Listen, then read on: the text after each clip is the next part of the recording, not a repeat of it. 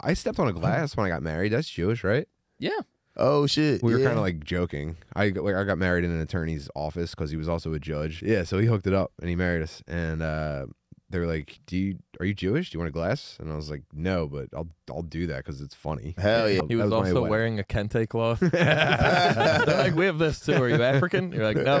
hilarious. Yeah.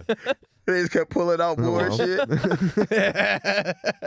you want to jump over a broom? Yeah, right. we got these really big glasses. They're kind of goofy.